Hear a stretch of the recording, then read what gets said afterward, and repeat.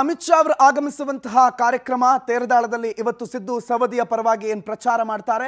ಅಲ್ಲಿಂದ ನಮ್ಮ ಪ್ರತಿನಿಧಿ ನಿಜಗುಣ ಮಠಪತಿ ಒಂದು ವಾಕ್ಥ್ರೂ ನಡೆಸಿದ್ದಾರೆ. ಬನ್ನಿ, ನೋಡ್ಕೊಂಡು ಬರೋಣ. ರಾಜ್ಯದಲ್ಲಿ ವಿಧಾನಸಭಾ ಚುನಾವಣೆಯ ಕಾವು ದಿನದಿಂದ ದಿನಕ್ಕೆ ಹೆಚ್ಚಾಗುತ್ತಿದ್ದು, ಇಂದು ಬಾಗಲಕೋಟೆ ಜಿಲ್ಲೆಯ ತೇರದಾಳ್ ವಿಧಾನಸಭಾ ಕ್ಷೇತ್ರದ ರಬಕವಿ ಪಟ್ಟಣಕ್ಕೆ ಕೇಂದ್ರ ಗೃಹ ಸಚಿವ ಅಮಿತ್ ಶಾ ಅವರು ಬರುತ್ತಿದ್ದಾರೆ. ಆ ಹಿನ್ನೆಲೆ ಇವತ್ತು ದೃಶ್ಯಾವಳಿಗಳಲ್ಲಿ ನೋಡಬಹುದು.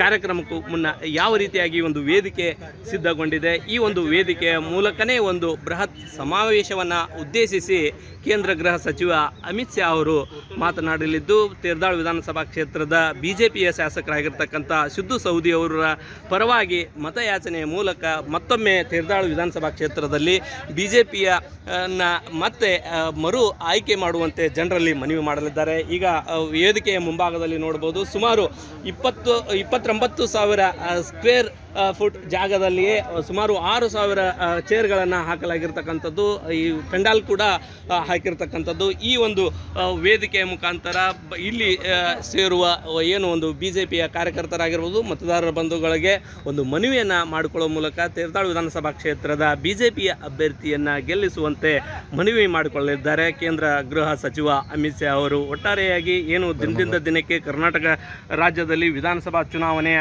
ಕಾವು ಹೆಚ್ಚುತ್ತಿದ್ದು ಪರಿಣಾಮ ರಾಷ್ಟ್ರೀಯ ಬಿಜೆಪಿ ನಾಯಕರು ತೇರದಾಳ್ ವಿಧಾನಸಭಾ ಕ್ಷೇತ್ರದತ್ತ ಇಂದು ಮುಖ ಮಾಡಿ ಪಕ್ಷದ ಗೆಲುವಿಗಾಗಿ ಮತದಾರರಲ್ಲಿ ಮನವಿ ಮಾಡಿಕೊಳ್ತಿರ್ತಕ್ಕಂಥದ್ದು ರಬ್ಕವಿಯಿಂದ ನಿಜಗುಣ ಮಠಪತಿ ಪವರ್ ಟಿವಿ ಬಾಗಲಕೋಟೆ.